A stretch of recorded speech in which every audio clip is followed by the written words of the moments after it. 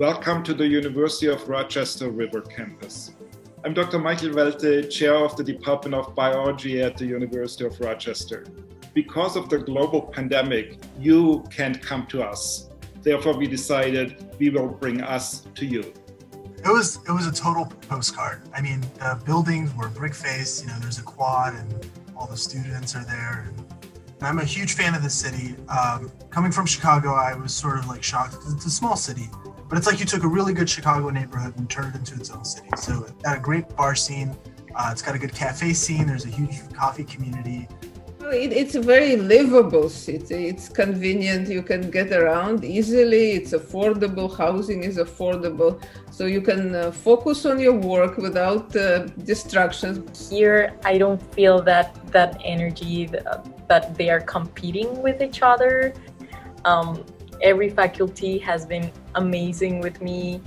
I didn't even have my moving van unloaded, and I was like, "Mom, we're going to Barnes and Nobles. I want a sweatshirt." Like everyone takes pride in this like logo. These people are here to build me up and to help me grow as a researcher, and you'll you'll learn that as you have to, as you find yourself um, needing to come to them to ask questions. It's like a second home almost because you're you're going to be spending so much time in the lab. You want to choose somewhere where you feel like the atmosphere is welcoming. There's just so much expertise right here. And so it was a perfect, perfect fit. And I really liked that there was more of a focus on sort of collaboration and on sort of helping helping each other achieve the things they want to achieve. It was really neat to be able to see uh, like the other projects that are going on. It's nice to have that connection and crossover into the other side of the department and just, you know, with personal connections to sort of other department members and other graduate students, it keeps you sort of in the loop and well informed as to, you know, the bigger picture of the department as a whole. Our department is super small and friendly. We're like a family. A lot of universities have separate molecular, cellular biology departments and ecology and evolutionary departments. We're different in that we're a biology department. Um, so research in the department kind of spans a whole large gamut of disciplines. But I do love that the bio department gives us that opportunity to rotate with people outside of bio. Just because you leave the bio department physically by moving to the med center, you're not gone.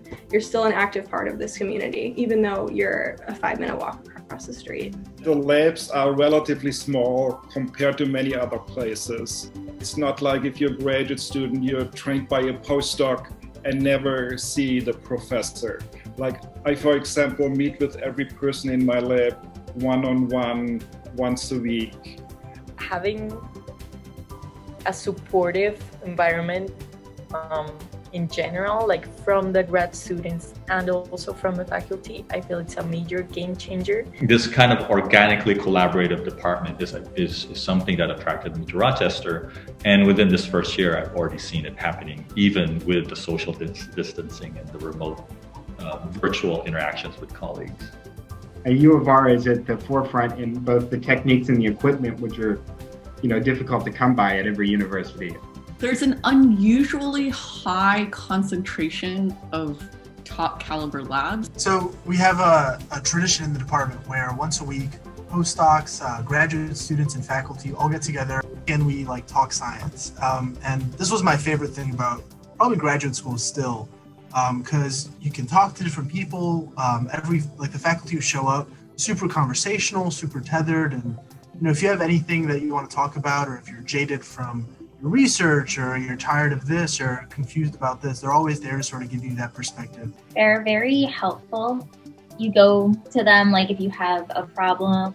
So like if you encounter like an issue with your research or you need some ideas, you could always go and like consult them. What is great about Department for Graduate Students is that they are the driving force.